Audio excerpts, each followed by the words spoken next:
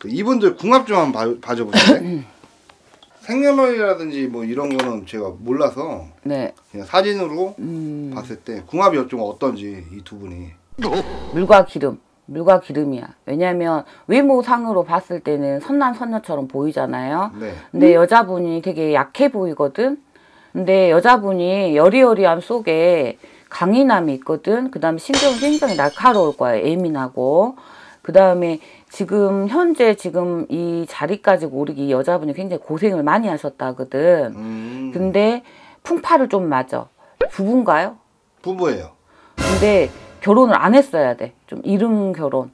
선택을 조금 잘못하신 것 같아 여자분이. 왜냐면 내가 사랑받고 살아야 되는데 사랑을 줘야 되는 지금 입장이거든. 네. 그 다음에 또 남자 자체가 보기에는 이게 체격 같은 건 되게 남자답고 어, 이쁘장하게도 생겼네 남자분도. 근데 이상형인가요?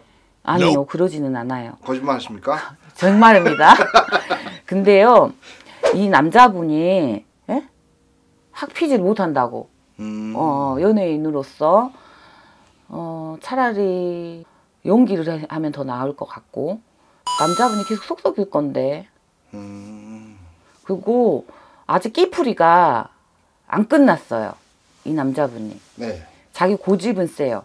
음, 근데 고집만 세지 내가 지금 뭔가 딱 쓰지를 않았어.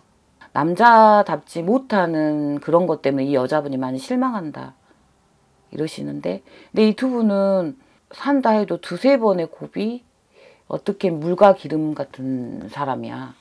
음. 여자분이 항상 희생을 좀 어느 정도 해야 돼. 안 한마디로 둘이 안 맞는다. 맞아요 음, 둘이 외모 보고 결혼했나 보다 일단 이혼은 했어요. 이혼했어? 네. 안 맞아요 그 보여지는 거에 치중하면 안 되는데 이분들은 뭐 일단 사는 사람 왔으니까 네 일단은 일부 정사 못 한다. 네, 여자 일부 정사 못해요. 합쳐져도 다시 이혼했지. 그 합쳐져도 다시 또 깨져. 음, 내가 울 일이 많아 여자분은. 일단 알- 그래요. 알겠습니다. 네.